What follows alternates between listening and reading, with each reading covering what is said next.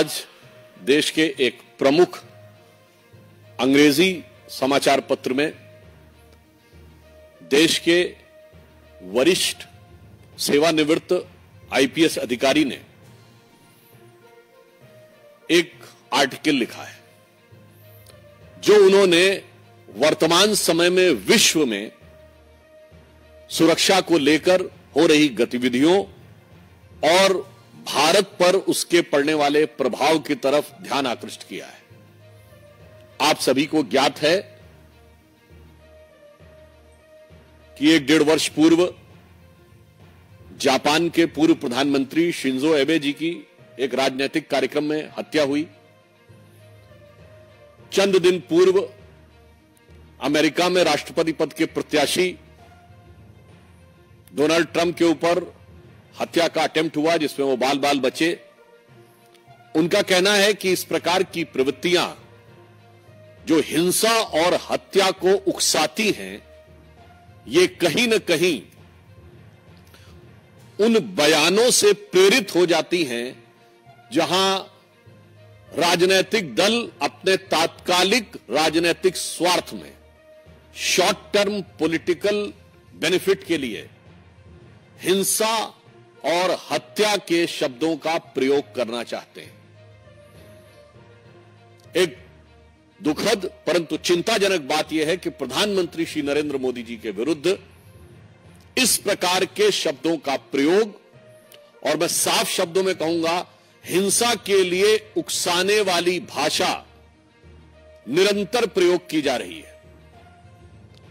अभी आपको ध्यान हो, कांग्रेस के नेता प्रतिपक्ष राहुल गांधी जी ने चुनाव प्रचार के दौरान पिछले वर्ष कई बार अपमानजनक शैली में मोदी जी के लिए मारना, डंडे मारना इत्यादि शब्दों का प्रयोग किया। यहाँ तक उन्होंने बोला कि अगर काफिले पे कुछ फेंका गया तो कुछ और फेंका जा सकता है, यानी फेंका जाना डर के समाप्त होने का प्रतीक है। इसका मतलब कि किसी भी नेता के काफिले के ऊपर कुछ भी होना चाहिए।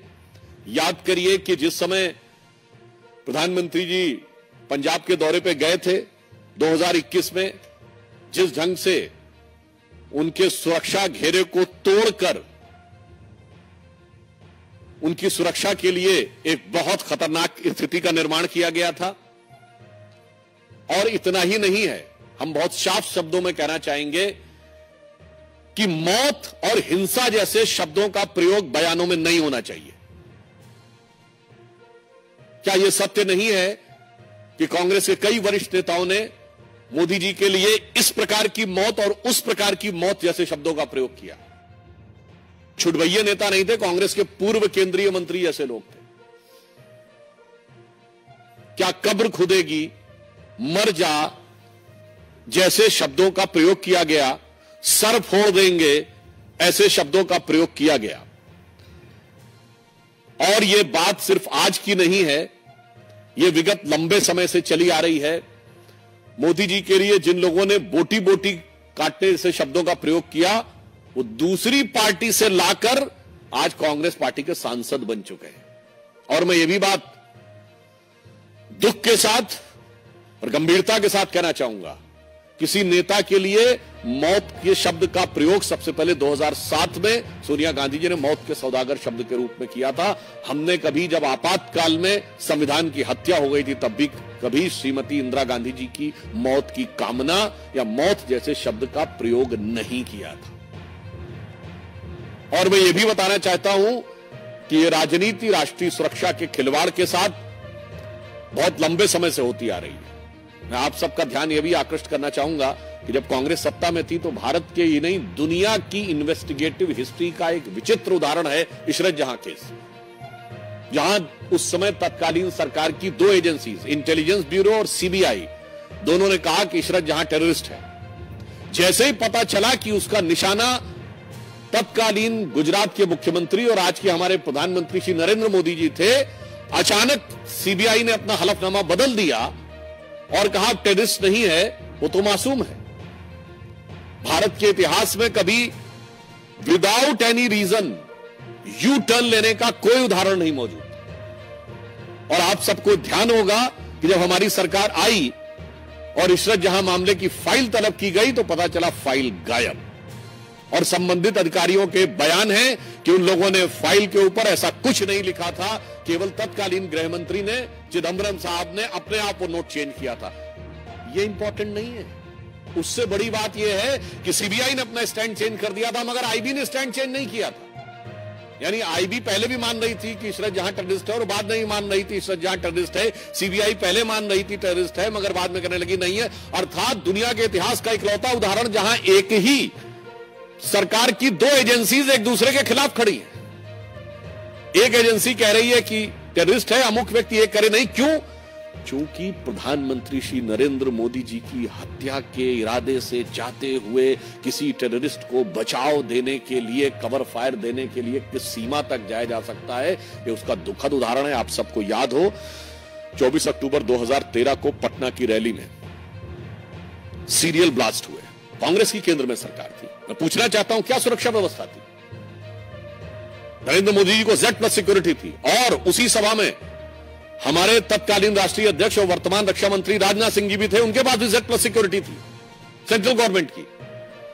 दो दो नेता जिनके पास जेड प्लस सिक्योरिटी हो सेंट्रल गवर्नमेंट की और उसके लिए केंद्रीय सरकार ने क्या व्यवस्था की थी?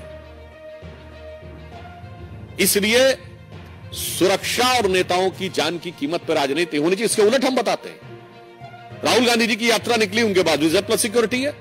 कश्मीर में आप सबने देखा कि कितने मधुर मनोभावों के साथ भैया और बहन बर्फ़ के गोलों के साथ खेल रहे थे। उस संवेदनशील जगह पे, केंद्र सरकार ने व्यवस्था सुनिश्चित की। मणिपुर जैसी जगह पे जहाँ इतना संवेदनशील है, उनकी यात्रा निकली और पूरा रूट सैनिटाइज करना और सारी व्यवस्था सुनिश्चित की गई, इसलिए मैं कहना चाहता हूँ कि भारत की राजनीति में राजनीति अपनी जगह है। नेताओं के साथ प्रतिस्पर्धा अपनी जगह है। मगर प्रधानमंत्री श्री नरेंद्र मोदी जी के विरुद्ध, जो राहुल गांधी ने शब्द बोला था, संसद में याद दिलाना चाहता हूँ, हिंसा हिंसा हिंसा। हत्या हत्या हत्या जैसे शब्दों का प्रयोग बंद होना चाहिए। दुनिया में इसके उदाहरण दिख रहे हैं। भारत में इसके परिणाम खतरनाक हो सकते हैं। यदि आप लोकसभा में नेता प्रतिपक्ष बने हैं, वैसे तो आप सबने सुना होगा, जीत का जश्न होता है, जीत का उत्साह, मगर यहाँ हार का उत्साह है। तो उस हार के उत्साह में मैं कहूँगा, उत्साह से उच्छृंखलता उच्छृंखलता से उद्दंडता की तरफ़ मत जाइए। परिपक्वता का प्रदर्शन करिए। इसलिए मैं पुनः जहाँ से मैंने प्रारंभ किया था, वहीं पे सभी राजनीतिक दलों से आग्रह करता हूँ कि हिंसा और हत्या जैसे शब्दों का प्रयोग, किसी के प्रति आक्रमण मारना, पीटना, कब्र खुदेगी जैसे शब्दों का प्रयोग बंद होना चाहिए। चूँकि याद रखना चाहिए कि लगेगी आग तो आएँगे घर सभी जद में। यहाँ पे सिर्फ़ हमारा मकान थोड़ी है। तो मैं सभी दलों से यह आग्रह करता हूँ विशेषकर कांग्रेस पार्टी से कि प्रधानमंत्री श्री नरेंद्र मोदी जी के प्रति आपके मन में एक इंफीरियरिटी कॉम्प्लेक्स है। आप एहसास कमतरी से वाबस्ता हैं। माना आपके मन में ईर्षा है, आपके मन में द्वेष है, आपके मन में कुंठा है। मगर उस कुंठा को हिंसा और मौत जैसे शब्दों तक ले जाने से बचिए। अन्यथा मैं एक पंक्ति के साथ समाप्त करना चाहता हूँ, जो सभी नेताओं के लिए, जो मोदी जी के लिए नफरत रखना चाहते हैं, उन्हें ध्यान रखना चाहिए कि देश के सौहार्द वातावरण में कोई प्रोवोकिंग बात नहीं करनी चाहिए कि कागज़ का है लिबास, चिरागों का शहर है। कागज़ का है लिबास, चिरागों का शहर है, चलना संभल संभल के चूँकि तुम नशे में हो। तो ये हार के, उत्साह के नशे से बाज आइए और समझदारी के साथ आचरण दिखाइए। धन्यवाद।